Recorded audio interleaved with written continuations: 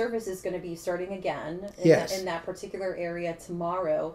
Um, I know that it was tragic what happened, and you lost two friends in that event. So how are you? How are you feeling overall on the the anniversary is coming up, but also service is starting again? How do you feel about this? Okay, well, yeah, indeed, uh, uh, Jim Hamre and Zach Willhoite were very close friends, both important, extremely important to our advocacy organization, and important to Darlene and I personally. Jim Hamre, the older of the two gentlemen, was a groomsman at our wedding, in fact.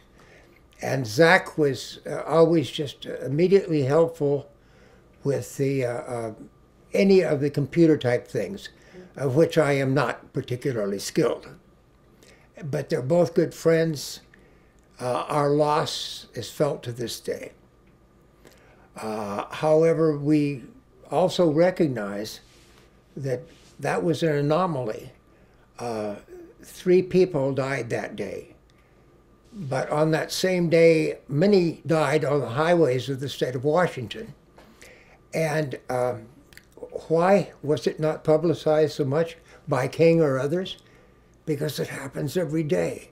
It's not even real news compared to the tragedy that occurred four years ago that took my friend's life.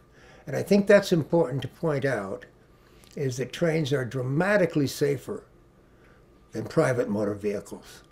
And I know that they've made a lot of modifications as well. I just did an interview with Sound Transit, who they- Sure. and they said they've they've done a lot, and it's taken so long to open this area back up because they wanted to make sure it's safe for passengers. Um, that's why I thought you had a unique uh, perspective, not only as somebody who knows about trains, but also someone who lost two friends in that incident. So. I mean, some people are wondering: is it is it safe for me to ride just after that happened? Oh, emphatically, yes. In fact, it would have been sa- safe that day as there was a legislator and a hearing that was held in uh, January of, uh, of 18, uh, again, just a month following the tragedy. And he says, no, wait a minute. 78 miles an hour in a 30 zone, and somehow it's the train's fault? A rhetorical question, but a smart one. Uh, it was relatively safe then.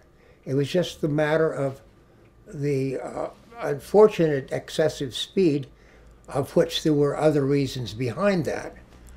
But uh, without that speed, the train was relatively safe. And now they've made the whole operation virtually su- uh, foolproof, which I think is important. I was going to say, I know that you know much more about trains than I do. Um, so, have you looked into some of the different uh, safety modifications? Are you knowledgeable about what they've done? Uh, to a significant degree, but I'll be pretty honest. I have, I have confidence that after that tragedy, uh, they're going to uh, go over many times any of the nuances that would be involved, and I think both the technology and the decision-making processes are now such that uh, uh, it's virtually foolproof. I, I feel very comfortable that all the technical things they have done, uh, and I don't presume to have knowledge of all these issues. I just am confident in reading about them that they're more than adequate. Would you um, yourself, you and your wife, would you ride the route um, if you were to be in Seattle tomorrow and you were coming this way? Would you would you ride it? Do you Oh, of course. I, I do have a comment, however. Uh, the old route, the one that ends today, is one of the most beautiful pieces of railroad in the Northwest or in the West. The new route, uh, going straight across from Nisqually to Tacoma, shall we say, is a, a little less picturesque, and that's putting it mildly. Uh, I do have another comment on that too, and it was one thing that Mr. Hamre pointed out when he was still with us, is that one of the ostensible reasons for making that investment was to cut out uh, quite a bit of distance between Olympia and Tacoma. And the schedule was to have taken 10 minutes out of the schedule. Well, Hamre and uh, uh, Zach Willhoite and myself all felt, no, wait a minute. Only 10 minutes of all that distance taken out? That's a lot of investment for 10 minutes. Well, I'm sorry to say, in checking the information, I just double checked this morning, they're not taking any time out. It's the same schedule that they had in 2016, 2017, uh, leaving Portland at uh, 8:20 and arriving Tacoma 10:54. Now, hopefully, that will change. Yeah. But at this time, uh, again, one of the important reasons for instituting these uh, investments was to cut the running time. And as of tomorrow, uh, the schedule hasn't changed. Uh, I hope it does. Not that they would go too fast or uh, be careless, but I guess it's about 15 miles less time. And with that, there should be some time out of the schedule. I have another question for you. Why were your uh, two friends on that train that day? Because they're, they were devoted, they were devoted enthusiasts as well as being rail advocates. They, they were both. And they wanted to be on that first train. Uh, I got to ride three days before, along with the press and others. I was supposedly a VIP, being the head of the Rail Association, Rail Passenger Association. And uh, we rode across the, the fatal curve, and everything was fine because we hit the curve at 30 miles an hour, not 78. Um, but uh, they wanted to be on the first paying trip. And uh, interesting, my wife and I were hosts at Olympia's Centennial Station, right outside of town here near Lacey. And we were there waiting for the train to arrive, you know, to greet the passengers. And one of the volunteers at Centennial Station got a phone call that said, There's been a derailment near DuPont. And we thought, oh no, they'll have to get on a bus. That's going to ruin the trip. And then we learned later, of course, that it was critical and fatal. Uh, we learned about the death of our friends and the other man, the third man, at about five the next morning. Uh, we were a phone call from a mutual friend found out about that. We had a suspicion because we uh, we tried the phone, and uh, Zach and Jim were were big on keeping us apprised of what they were doing and where they were, and we couldn't get in touch with them, and we couldn't get in touch in the hospitals, so we were we were fearful, and when we got the the, the phone call, we were saddened but not terribly shocked. Not terribly shocked. Why do you say not terribly shocked? Because we had been trying to get a hold of them for eight hours. Okay. And it, it just wasn't them to not answer. Well, we checked uh, hospitals all over Pearson, Thurston County, and and so we were afraid that they were among the, the lost. You know, a lot of people were thinking, um, oh, wow, that was a close call. That could have been me. I mean, Jim was riding with one of our former reporters, Alex Rozier. What, you got off the stop before? We got off in Tacoma. They got off in Tacoma, the stop before. You had ridden the train a couple days before. Yeah, just three days before. And in fact, I think uh, King was there.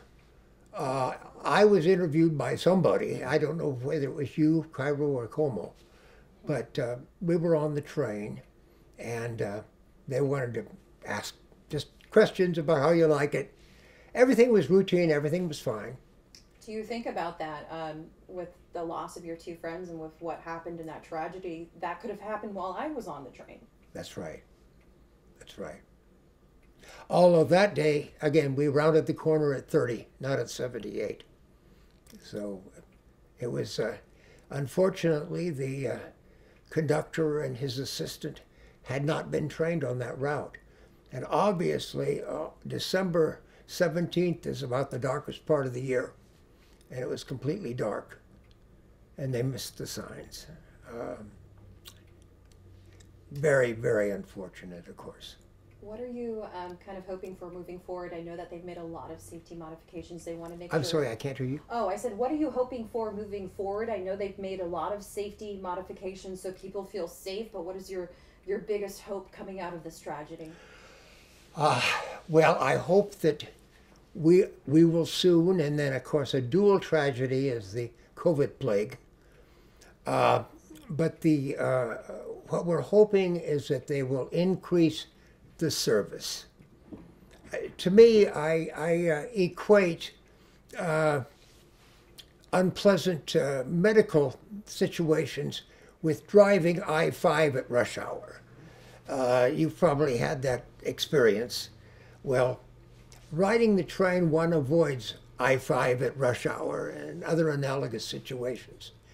It's comfortable, uh, 17 times safer than driving your own motor vehicle uh, per million passenger miles. That's the fair way of, of uh, judging it.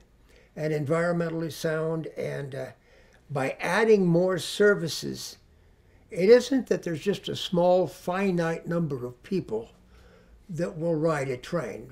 That's a myth that, well, if you ride two more trains, you'll just divide up the small group that wants. No, it's it, it's almost geometric. It's multiple.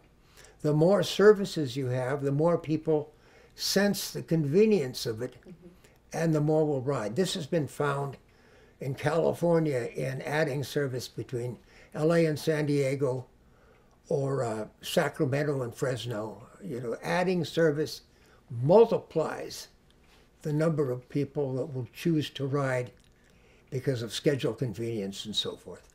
This might be a hard question to answer, but I'm wondering, um, with you know how well you knew them and stuff, if you might be able to answer it. Um, do you think if they would have survived through that incident after all these safety met, uh, modifications that they made, and, it's hard again, I don't know if you'll be able to know, but do you think they would ride it again? Oh, absolutely. I don't see any difficult at all. Uh, Jim Hamre, in fact, was very knowledgeable. Well, they're both transportation professionals. Zach worked for Pierce Transit, and Jim was a recent, then recently retired uh, lifetime employee with DOT.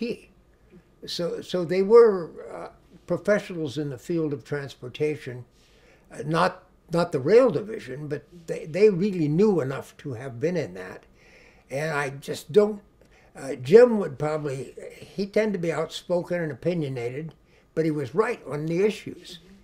Just like he was griping before he passed that the uh, uh, even though the uh, new station in Tacoma is very nice, and it meets, of course, the Sound Transit trains and Tacoma Link Rail and the buses. He thought that was good, but he was complaining that there, for people that do drive, there just was very inadequate parking at Tacoma, and nothing is being done about it. Well, you can go to some lot over there and pay for it. You know, that's not according to Jim, and I agree, a satisfactory answer. In terms of their riding again, uh, after they complained about the, the issues, they would be on the trains. I have no doubt of that.